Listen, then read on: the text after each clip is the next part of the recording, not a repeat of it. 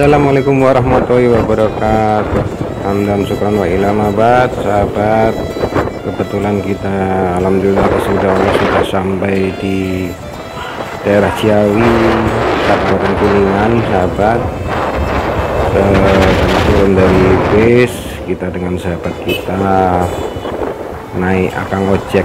Ya, kebetulan ceritanya ini perjalanan saya ke Kuningan Jawa Barat ini bertemu dengan salah satu sahabat kita. Atas Allah kita dipertemukan kenalan akhirnya beliaunya menyampaikan keluh kesahnya bahwa anaknya yang belum tiga tahun laki-laki suka rewel bila di rumahnya. Kebetulan anaknya ini dan istrinya sekarang tinggal di mertuanya yang enggak jauh dari rumah mereka. Ya atas izin izin Allah Allah Bekasi rumah beliau sahabat minta doanya sambil mendoakan sahabat untuk kebetulan sama Kang Ojo kita sudah melindungi sahabat depannya depan kita ini daerah jalan raya Jari dengan Jawa Barat sahabat saling mendoakan sahabat kita ikhtiar di jalan Allah kita saling bantu sesama nambah persaudaraan nambah kekeluargaan.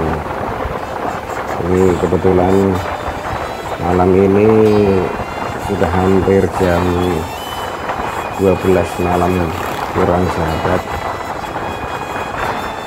Jadi situasi setelah lebaran masih uh, padat ya sahabat ya tadi di arah Tol Cipali kebetulan ini jalan raya Ciawi juga malam juga masih rame kelihatan rame.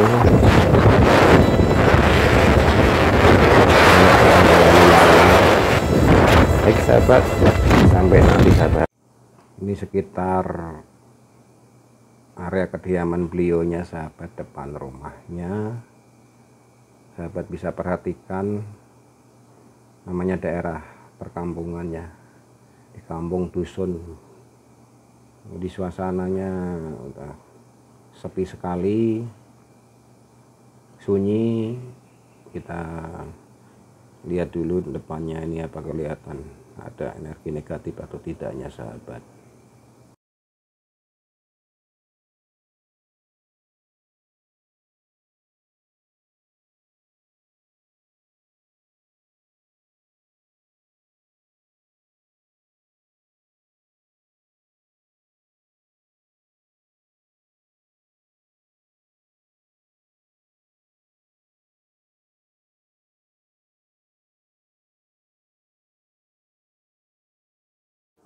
sahabat ini arah dapur. Kebetulan berbatasan dengan rumah mertua beliaunya. Jadi putranya itu sahabat bisa perhatikan putranya sedang rewel. Tadi coba kita lihat putranya. Kebetulan putranya dibawa ke kediaman mertuanya lagi sahabat. Ini berbatasan sahabat. Ini area halaman beliaunya dan Baik sahabat, kita sudah berada di dalam rumah beliaunya. Ini di ruang tamunya. Itu tadi area depan. Jadi sahabat bisa perhatikan. Kita coba telusurin aura negatif di dalam rumah beliaunya atas ridha Allah seizin Allah sahabat. Saya tidak bisa apa-apa, saya hanya kutuk kupret kita hanya ikhtiar di jalan Allah Subhanahu wa taala. Baik sahabat, langsung aja kita atas ridha Allah Subhanahu wa taala kita telusurin dalam rumahnya beliau. Seizin beliaunya juga sahabat ini sahabat bisa perhatikan dalam rumahnya beliaunya. Baik sahabat kita sudah sama pemilik rumah. Kita ditemuin beliaunya ini sahabat. Alhamdulillah kita diberikan rezeki Allah Subhanahu wa taala dijamu sama beliaunya sahabat. Ini beliaunya sahabat yang dalam perjalanan ke Kuningan kita kenal di jalan. Atas ridha Allah seizin Allah beliaunya minta bantu untuk ditengok kediaman serta keadaan putranya sahabat.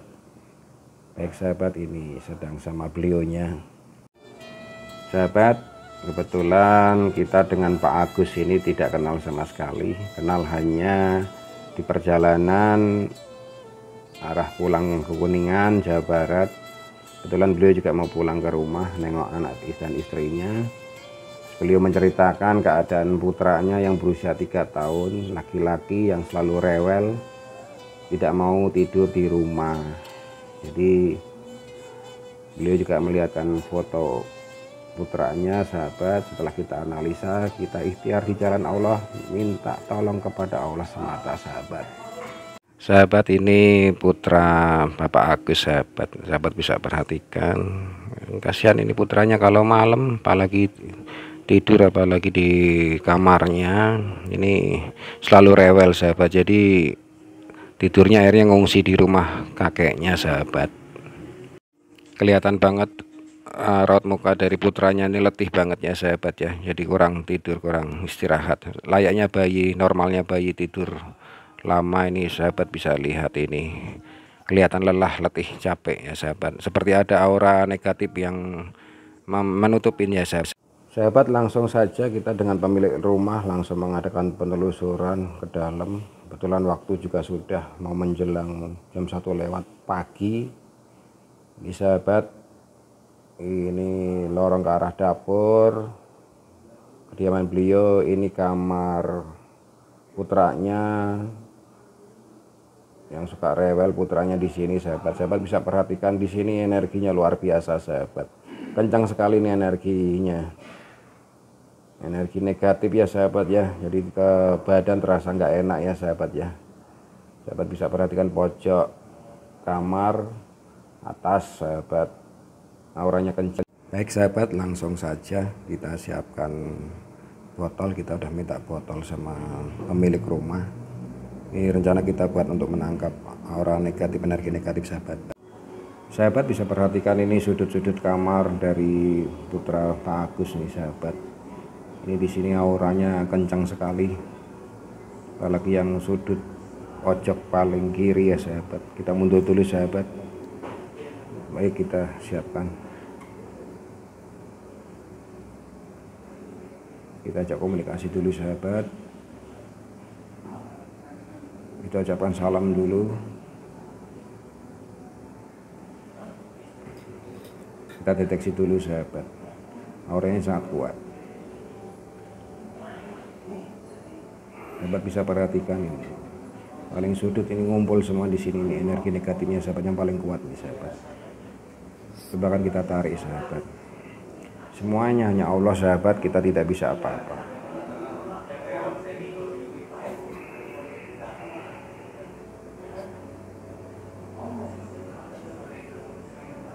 Kita masukkan ke botol sahabat atas ridha Allah atas izin Allah sahabat. Dalam menarik energi negatif ini kita sebaiknya ucapkan salam dulu sahabat.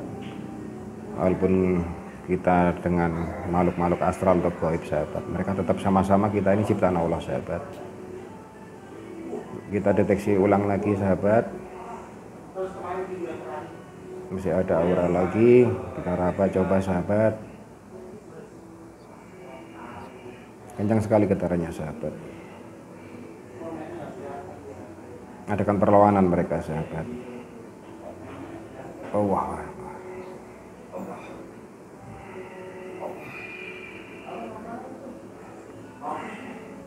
kita coba netralisir sahabat.